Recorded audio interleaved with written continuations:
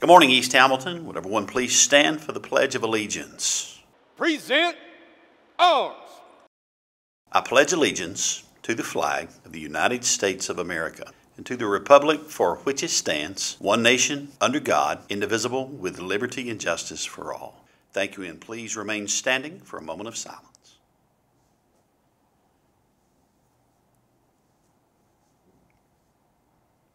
Thank you. You may be seated.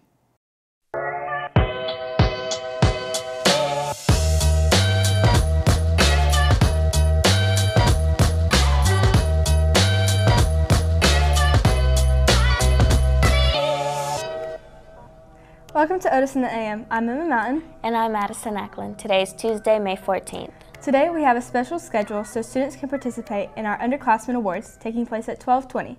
Unless you are involved, you will report to your advisory class. Teachers, check your email for a live stream link sent out from Mr. Moore with details on how you can show your class. If there's a sub near you, help them out so everyone can watch our student successes. An enormous and wonderful shout out congratulations celebration to all of our terrific English language learners. They all did great on their annual WIDA Access Test. 13 students passed, now get to exit the English as a new language program as direct ENL service to students. The Advanced English Language Development 6th period class also passed the WIDA Access Test and now get to exit the English as a new language program. Congratulations on working hard to accomplish this amazing goal. Now let's take a look at today's announcements. Students interested in playing golf next year need to see Coach Stutzler before summer break. There will be an informational team meeting during first lunch on Friday, May 17th for all new and returning students.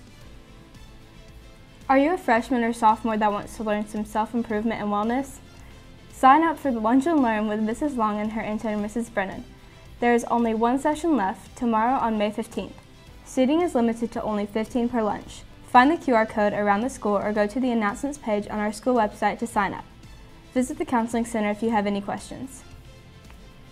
There will be an art show tomorrow from 4 to 6 p.m. Students are welcome to bring family and friends to see their incredible artwork. Art by this year's students will be on display all week in the Spine. Also, yearbooks are selling fast. Make sure to purchase yours before it's too late and we run out. Go to the announcements page on our school website to order yours today. Girls basketball tryouts will be from 2.30 to 4.30 on May 23rd. Girls must have a physical to try out. Contact Coach Bard in room 2263 for details. East Hamilton's volleyball team is hosting tryouts for the 2024 season on Thursday, May 23rd at 3 p.m. in the main gym. All incoming 9th through 12th grade athletes are invited. You must sign up using the Google form link and have a current physical completed to try out. If you have any questions, please email them to Coach Suzuki. If you are turning 15 over the summer and want to get a driver's permit during summer break, you need to get your SF 1010 form request turned in ASAP. Use the QR code around the school or go to the announcements page on our school website. Mrs. Zay will email you when it's ready to pick up.